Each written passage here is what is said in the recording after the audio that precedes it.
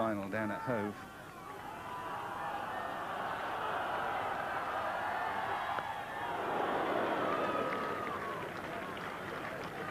easily behind that one.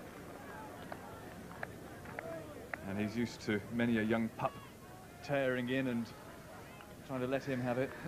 Well, it's been a it's been a burden he's had to shoulder throughout when he was captain of the West Indies, of course.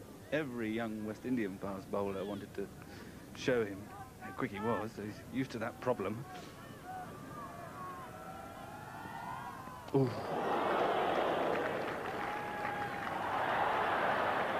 Well, Kent have really woken up here.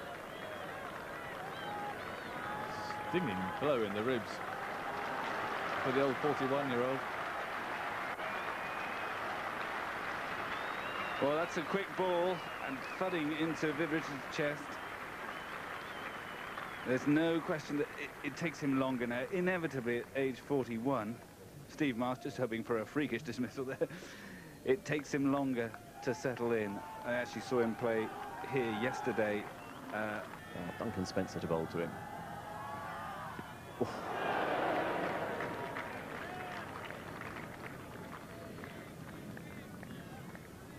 This is a fascinating duel here. The young pretender. Pretending quick bowler anyway against the old master and this is a vicious ball. It plays well in the end. Rears up at him quite nastily, but he's got over it, punched it down to square leg. Won't be the first he's had like that. They've now put somebody in there. That will be out. It's a no ball. He's not out. But Richards doesn't know.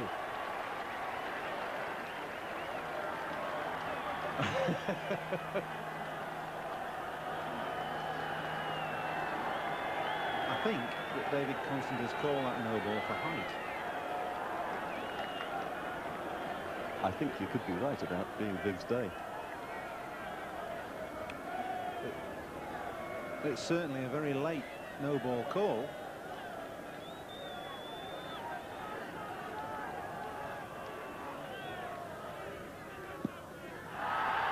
That was going down the leg side.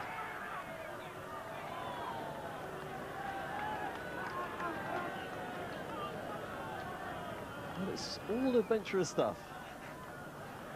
Played in a wonderful spirit.